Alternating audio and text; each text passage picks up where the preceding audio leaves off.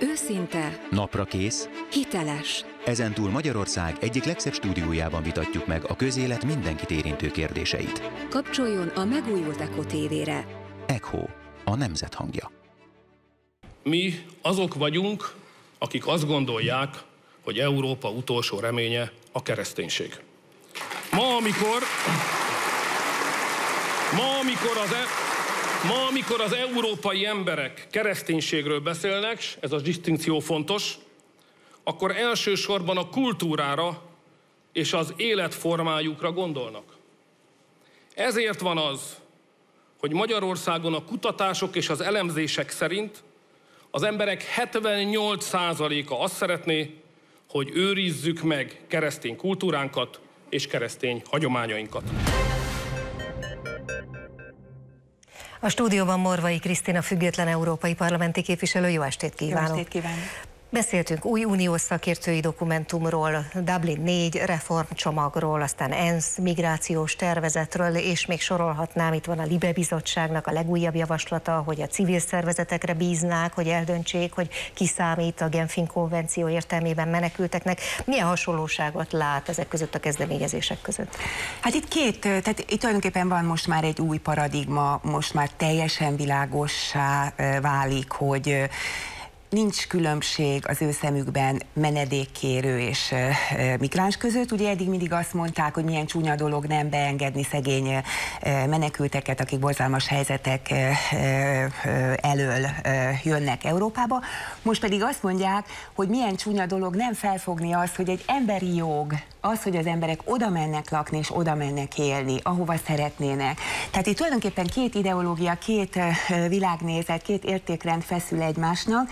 Az egyik, amit Magyarország is képvisel, a nemzet fontossága, a nemzeten alapuló állam fontossága, a hagyományok, a kereszténység, a, a, a kultúra fontossága, és a másik pedig, amelyik mindezt tagadja, és avít idejét múlt dolognak gondolja, és az ő saját értékrendjét akarja mindenkire rákényszeríteni. Most ebbe az irányba megyünk, és egy borzasztó veszedelmes iránynak, és egy borzasztó veszedelmes olyan történelmi helyzetnek értékelem.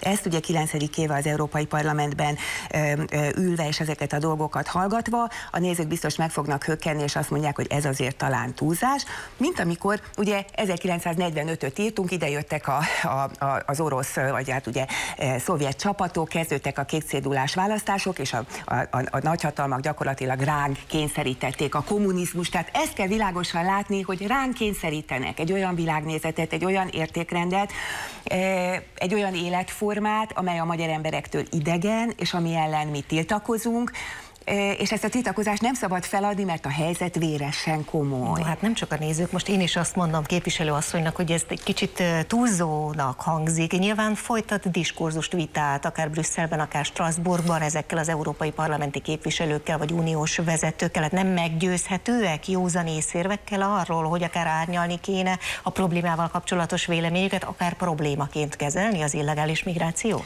A legutóbbi ilyen beszélgetésben, amikor itt volt az Európai Parlamentnek a eh, delegációja, női jogi bizottsági delegációja, fül tanúja voltam egy döbbenetes párbeszédnek, amikor tulajdonképpen hárman estek neki a magyar kormány egyik képviselőnek, és villogó szemekkel, szinte vicsorogva mondták azt, hogy hogy képzelik maguk, hogy ennyire Európa ellenesek. Mire mondta ez a kormány tisztviselő, hogy bocsánat, de mi Európát védjük.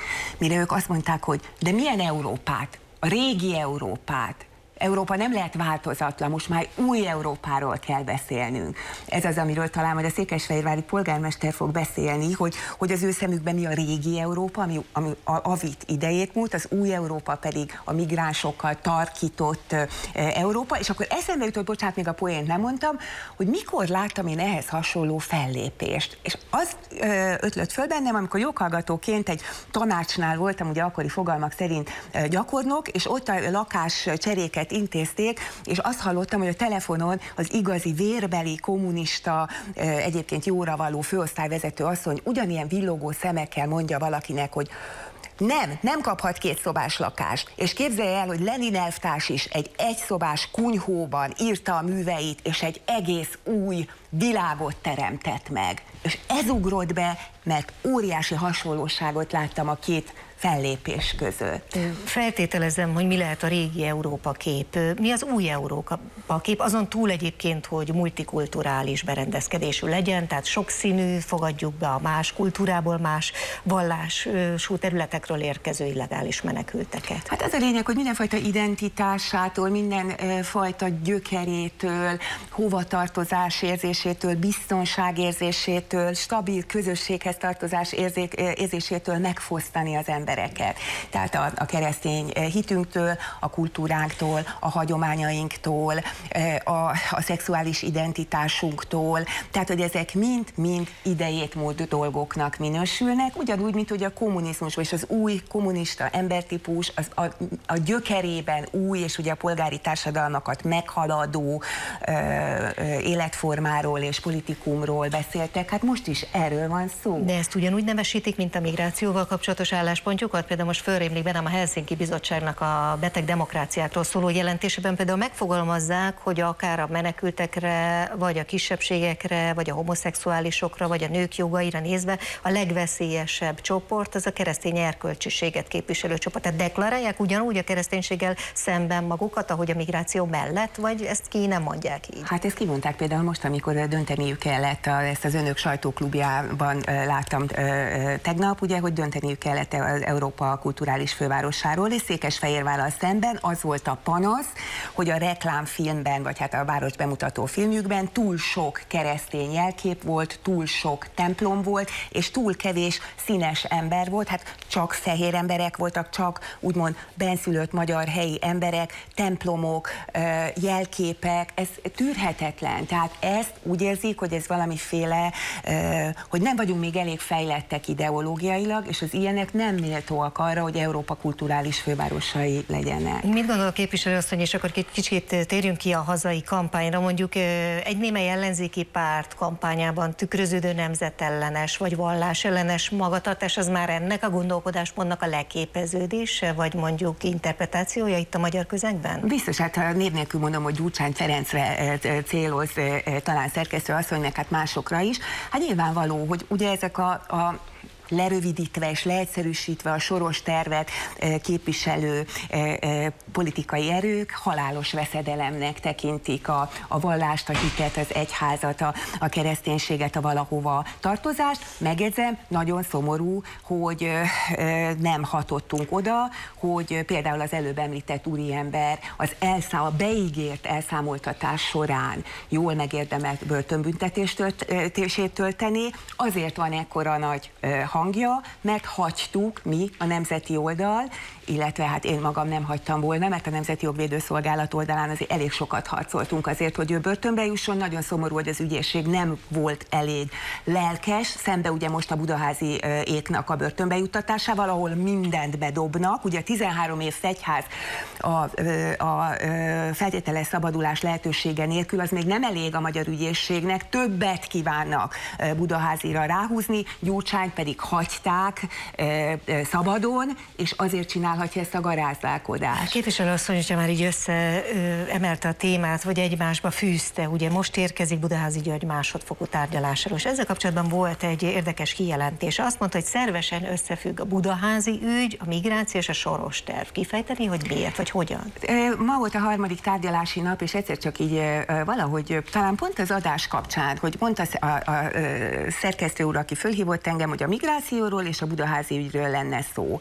És akkor mondom, hát a kettő az hogy is jön egymáshoz, és ezt sok megvilágosodott, hogy eh, hát eh, abszolút eh, természetességgel, hiszen ugye milyen érdekes, hogy a, eh, említettem az előbb ezt a két világnézetet. Az egyiket ugye a eh, tömeges migrációval lehet fémjelezni, és mindenkinek a normális embereknek a fejében a terrorcselekmény, terrorveszély, terrorizmus fogalma ehhez a bizonyos világnézethez és értékrendhez és jelenséghez kapcsolódik. Ezzel a világnézettel állnak szemben a hazafiak, a nemzeti identitásúak, mondjuk Budaházi György és a Hunnia csoport, akik ugye 2002 és 10 között végig a nemzetet, a nemzeti érdeket ö, ö, védték, és óriási erőfeszítések történnek valakik részéről azért, hogy az, hogy terrorcselekmény, terrorizmus, terrorveszély, ez az emberek fejében a hazafiakhoz kötődjön, és a nemzetet védőkhöz. Teljesen életszerűtlen módon. Tehát nekem meggyőződésem, hogy Budaházék ezek ne, nem követték el ezeket a cselekményeket, semmiféle uh, meggyőző és uh, jogszerű bizonyíték nincs rá, de ha véletlenül elkövették volna, akkor is 30 éve büntetőgászként dolgozó szakemberként mondom, hogy ezek maximum rongálásnak minősülhetnének, esetleg kényszerítésnek. Szó nincs arról, hogy terror cselekmény lenne az, hogy mondjuk egy szocialista országgyűlési képviselő ö, ö, lábtörlőjét megperselik tehát ez egy borzasztóan aljas, gyalázatos dolog, és arra következtetésre voltam kénytelen jutni, hogy az ügyészségen belül is, a bíróságon belül is, rendőrségen, meg bizonyos állami szerveken e, belül, e, tehát hogy mint hogyha ilyen, ilyen hálók szőnék át e, a, a különböző rétegeket, tehát van egy ilyen, egy deep state, ugye nem szabad mondani, hogy háttérhatalom, mert, mert ugye akkor kikacagják az embert, meg gúnyolódni kezdenek, de mégiscsak vannak valaki, akik, akik az egyébként propagált értékrenden, vagy, vagy, vagy, vagy érdekeken kívüli, azokkal szögesen ellenkező dolgokat valósítanak meg. Tehát azt mondjuk, hogy a nemzetet védjük, a nemzeti függetlenséget, a hagyományainkat, és harcolunk a tömeges bevándorlás és a terrorizmus ellen. Erre mit csinálunk? Kilenc éve tartjuk fogságban ezeket az embereket. A Budaházi György is ugye három évet ült, a többiek is, a 16 hunnia csoporttag, nagyon hosszú időket, és azóta is folyamatosan nyomkövetővel a lábukon házi őrizetben vannak. Hát micsoda gyalázat csodálatos dolog ez. Gyurcsán pedig szónokol arról, hogy neki kell menni az egyháznak, neki kell menni az elszakított területen élő magyaroknak. Hogy tűrhettük ezt el? És nagyon szépen kérem ezúttal is a fideszes szavazó honfitársaimat, hogy lépjenek ez ellen föl, és alsó hangon is a budaháziéknak amnestiát követelő petíciót minél sürgősebben írják alá. Mert Értsük meg, hogy ez nekünk, a magyar nemzeti oldalnak, akik a soros terv ellen harcolunk, az idegen érdekek, a tömeges bevándoroltatás, és így tovább ellen harcolunk, a szégyene, ha eltűrjük azt, hogy a mi embereink legyenek terrorcselekménnyel megvádolva kilenc éve fogságban. Az ön által felsorolt ügyek kapcsán bízik még a jobbikos szavazókban is? A, a, mármint ez az egész, hogy soros terv bevándorlással több. Én Vonagábornak olvastam most egy nyilatkozatát, ahol azt írja, azt hiszem pont a honlapjának az elején a tisztelt baloldali választópolgárok megszólítással, hogy most már nem bal és jobb oldal között van a különbség, hanem a kormánypártiak és a kormányt leváltani szándékozó között. Én ebben nem értek egyet, nem itt húznám meg a határt, hanem azt mondanám, hogy igenis, az előbb általam részletesen kifejtett két értékrend követői között van különbség. A tömeges bevándorlást támogatók és a soros tervet végrehajtani akarók, és a nemzetet és a nemzetállamot felszámolni akarók, és az ezzel szemben állók között. Tehát a jelenlegi jobbik szavazóknak, a jelenlegi Fidesz szavazóknak, és minden jó érzésű embernek azt ajánlom, hogy azt vessék össze, amikor a választásokon dönteniük kell, hogy melyik politikai erőben érzik annak az elhivatottságát, elszántságát és képességét, hogy ettől a bizonyos soros tervel fémjelzett és lerövidített értékrennek a gyalázata Magyarországra bekerülhessen. Morvai Krisztina, köszönjük szépen. Köszönöm szépen.